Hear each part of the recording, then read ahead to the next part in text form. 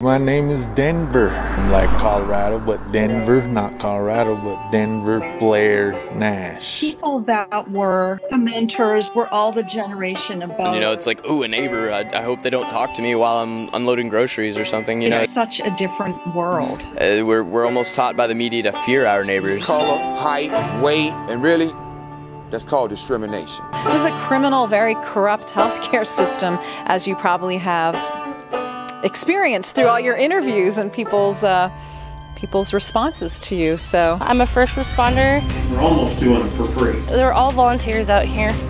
We go out middle of the night. We can't even pay for our fuel a lot of times. I just watched this incredible degradation. It just feels so different. I don't think my doctor cares at all. A lot of times she's told me that I'm really overweight and send you out with yet another prescription. If you're on the other end of it, it's kind of like you're living every day just waiting.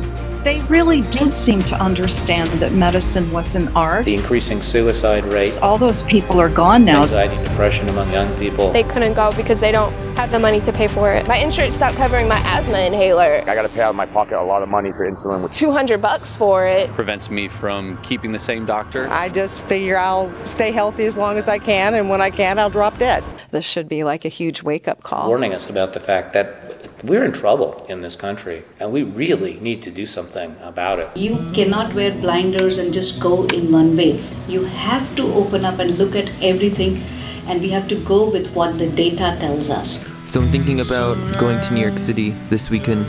It's hard to work in an industry and defend an industry when you know that that if in medicine our goal is to treat the patient those types of errors and omissions are happening uh, all the time. Then shouldn't it be good to also listen to them? I had a meeting once when I was at Mental Health America. I think this might be kind of terrifying. With uh, the, the director of the National Institutes of Health. If I'm really going to get any message, I think that's where I should go. Great guy, Francis Collins. He's still the director of the NIH. Make a Maybe I can make a video out of it or something.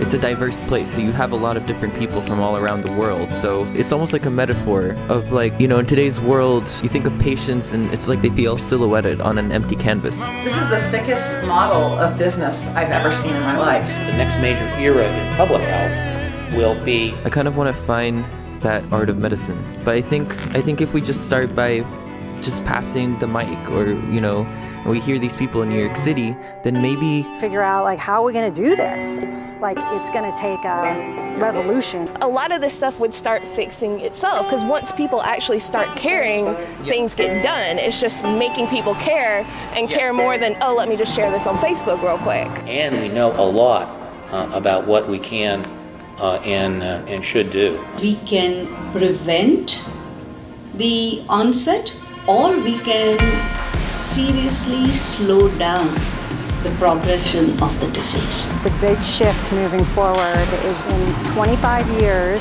you're going to look back at this tape and these conversations and stuff and, and laugh at what jackasses we were. We people, it's time to awake and uh, mm-hmm. the values need to be on humanity. Waiting. The universe kind of mandated. Waiting for something. Massive timeout for the planet. Come back and haunt me. We need to wake up just like it used to. And I think it's starting to happen. Yes, I'm right here. So that way you can you can show the children Waiting and uh, this next generation the way to go, the way to live, the way to where to be.